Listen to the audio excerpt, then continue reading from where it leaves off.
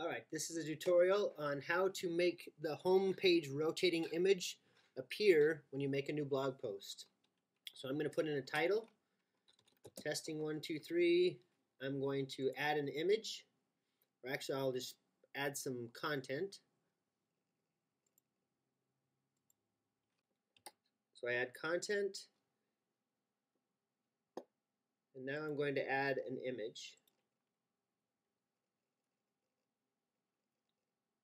And I'm going to just pick one from the media library at this point.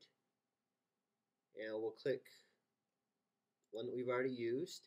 Now here's the catch. We come to this, this portion.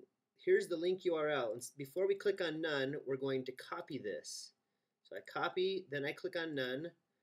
I can click on use as featured image. I'm also going to insert into post full size aligned left. So I insert it, um, I'm going to drag this down just a little bit so it's not quite so big. Here's the portion that we need to, that, that's new. I'm going to move this over and right as I go down below publish, there's the category and then down below there's dynamic content gallery meta box. I'm now going to paste that address right in this box, the image URL. So now when I update this or publish, I'm going to click publish, And now when I go to the site, you will see that's the new post that we just made. And then if I click the arrow, I'll see the next post and there's the same image we used before.